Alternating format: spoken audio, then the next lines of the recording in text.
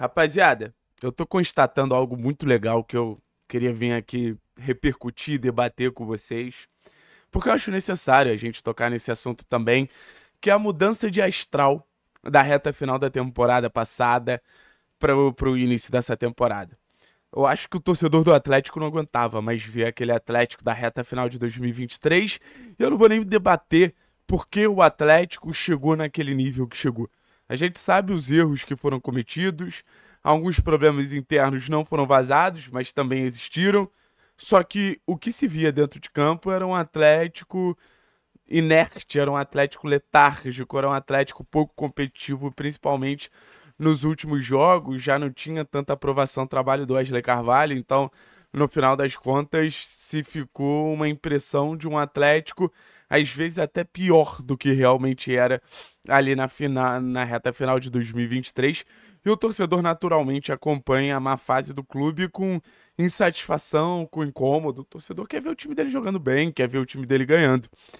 A gente não começou 2024, né? A gente não, não esteve dentro de campo ainda para saber qual vai ser o desempenho da equipe para a temporada do, do centenário do clube.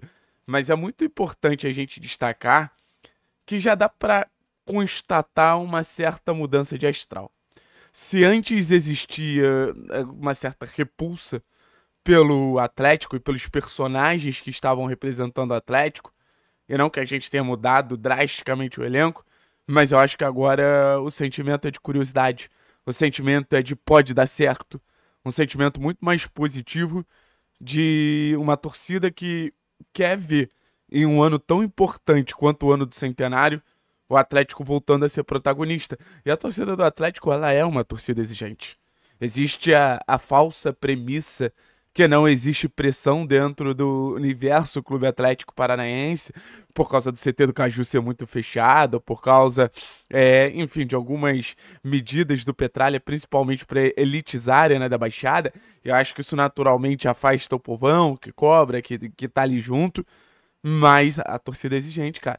É difícil conquistar a torcida do Atlético.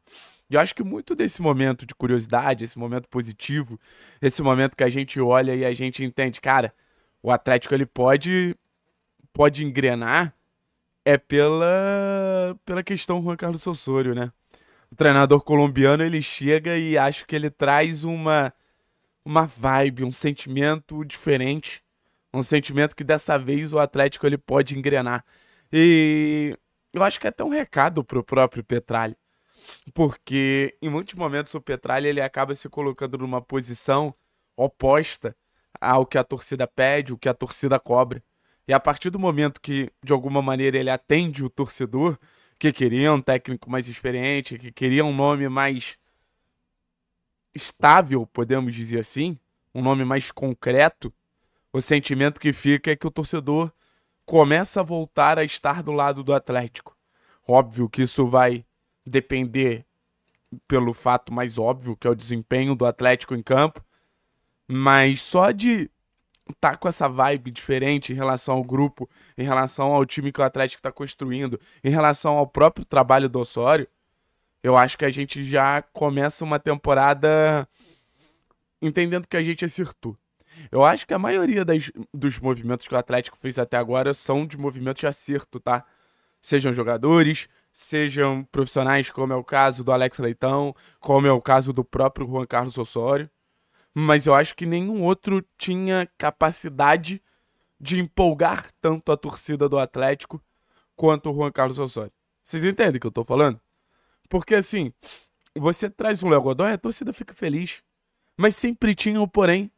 O que adianta você trazer grandes jogadores ou montar um grande time se no final das contas você não vai ter um técnico para comandar isso? Era pedra no sapato, era o quebra-mola. Só que agora esse argumento ele cai por terra. O Atlético ele tem bom material humano e o Atlético ele tem um bom treinador para comandar isso. O Atlético vai ter um treinador que tem potencialidade, pot, tem capacidade de potencializar os seus principais jogadores. O Atlético tem um grande líder a postura do Osório nesses primeiros momentos de Atlético é excelente, mano. Conversa com a torcida, sabe? Passa recados diretos, porque o torcedor ele vai ser muito importante no ano do centenário, como sempre foi na história do Atlético. O próprio Osório é um cara que mostra que o trabalho ele parte de processos. Fala sobre ter calma, mas fala sobre utilizar jogadores da base. Fala sobre fazer um ano histórico. Cara, quando o torcedor ele escuta em fazer um ano histórico, é natural que ele fique empolgado. É natural que ele compre esse discurso, porque é tudo que o torcedor ele quer viver. Um ano histórico de vitórias, de conquistas, de jogos relevantes. E o Osório, não que ele venda essa ideia, mas ele deixa muito claro. Ele vai organizar um grupo para que se trabalhe para chegar nessa questão do ano histórico, de grandes vitórias, de grandes momentos. E assim, qualidade a gente sabe que o homem tem, velho. E acho que é o primeiro ponto para se chamar ainda mais atenção. Quando você tem um cara que tem qualidade, quando você tem um cara que sabe que não vai ser é, a primeira vez que ele vai se destacar, eu acho que a credibilidade dele também fala por si só, sabe? O torcedor do Atlético ele não tá confiando só na maneira que o Osório deu treino ou na entrevista que ele deu no Rede Furacão. O torcedor do Atlético também está confiando no currículo do Osório.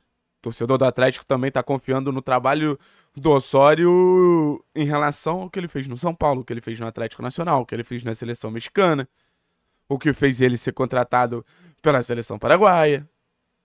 Então é a partir disso que eu acho que dá para dizer que ele passa mais confiança. E o torcedor do Atlético, ele precisa voltar a estar do lado do clube. Não que ele tenha abandonado o clube, mas voltar ao sentido de ser uma relação é, sinérgica. Do torcedor do Atlético sentir confiança em relação ao time. Do torcedor do Atlético olhar para os jogadores e, e, e se sentir apegado. Os times de 21 e 22 não conseguiram gerar isso no time do, do Atlético, muito menos o de 23. Acho que desde 18 e 19 o torcedor, até por uma questão de pandemia em 21, que querendo ou não é um ano de título, mas mesmo com uma questão de pandemia, dá para afirmar que existe um gap, existe uma distância. Existe um caminho muito, muito, muito aberto ali que os dois lados precisam se reaproximar.